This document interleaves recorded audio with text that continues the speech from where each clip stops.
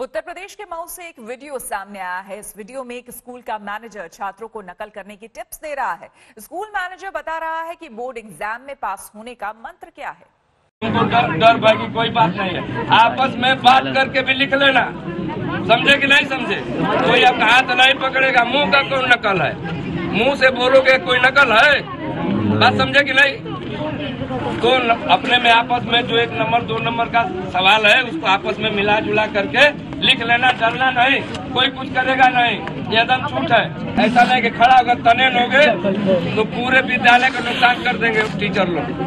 कहेंगे बहुत ही मतलब उजट किस्म के बच्चे हैं, सबकी टाइट कर देंगे, नुकसान हो जाएगा। तो इस नाते यदि मान लो कोई बात नहीं हो गई तो धीरे से पटा जाना, बोलना नहीं। समझे कि नहीं समझे? हम लोग से भी कहता हूँ कि अपना कोई प्रश्न नहीं छोड़ना है। प्रश्न लिखोगे, सौ रुपया डाल दोगे, नंबर आँख मून करके टीचर देता क्या मून मूनना कोई जांचता नहीं है कि क्या लिखा है।